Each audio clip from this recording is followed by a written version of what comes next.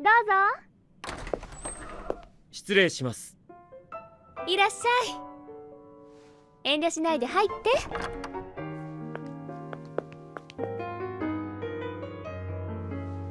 失礼します。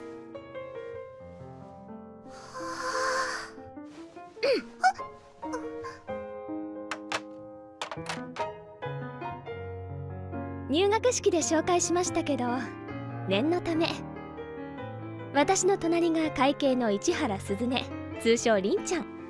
私のことをそう呼ぶのは会長だけです。その隣は知ってますよね。風紀委員長の渡辺真理。それから初期の中条あずさ通称あーちゃん。会長お願いですから下級生の前であーちゃんはやめてください。私にも立場というものがあるんです。もう一人副会長の半蔵君を加えたメンバーが今期の生徒会役と会役員私は違うがな。渡辺先輩。なんだそのお弁当はご自分でお作りになられたのですか？そうだが。意外か？いいえ少しも。ん普段から料理をしているかどうかはその手を見ればわかりますから。そうだ。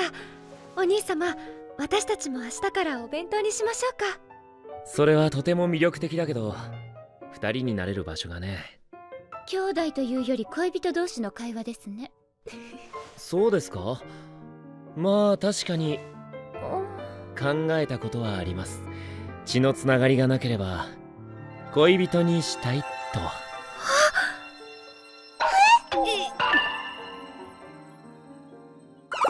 もちろん冗談ですよくん？いえあの